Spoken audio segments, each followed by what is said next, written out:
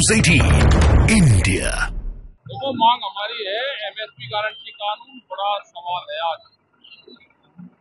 Swaminathan committee की report उसे लागू कर दो। नहीं तो ये आंदोलन देश भर में चलते रहेंगे।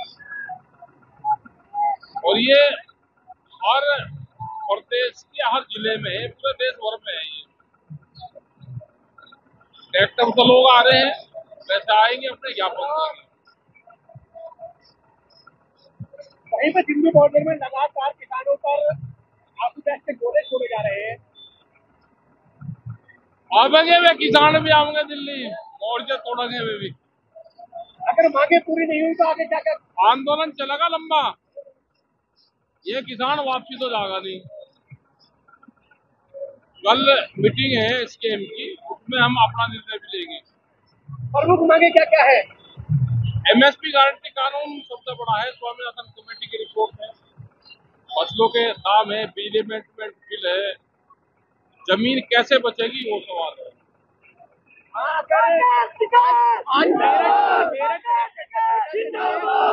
बनोगे? नहीं यहाँ तो डीएम को ही जाएगा ये। आज कलेक्टर घेराव का कार्यक्रम है। क्या क्या मांगे आप?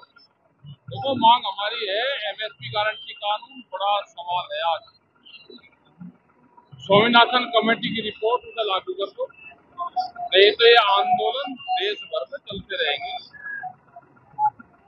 और ये हर प्रदेश के, हर ज़िले में पूरे देश भर में है ये। ट्रैक्टर तो लोग आ रहे हैं, वैसे आएँगे अपने ज्ञापन देंगे वहीं पर बॉर्डर में लगातार किसानों पर आँसू के गोले छोड़े जा रहे हैं।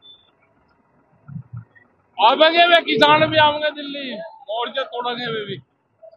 अगर मांगे पूरी नहीं हुई तो आगे क्या क्या आंदोलन चलेगा लंबा। ये किसान वापसी तो जाएगा नहीं। कल मीटिंग है स्कीम की उसमें हम अपना निर्णय भी लेंगे। प्रमुख मांगे क्या क्या है? एमएसपी गारंटी कानून सबसे बड़ा है स्वामीनाथन कमेटी की रिपोर्ट है। फ़सलों के दाम है बिजली मेंटेनेंस बिल है। ज़मीन कैसे बचेगी वो सवाल है।